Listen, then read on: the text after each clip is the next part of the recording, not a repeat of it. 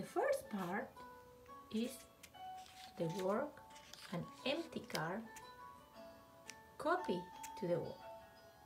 Next part is cover to the word and reading the first letter or beginning sound. The last one is cover and connection the work and picture. This is, is the spring work.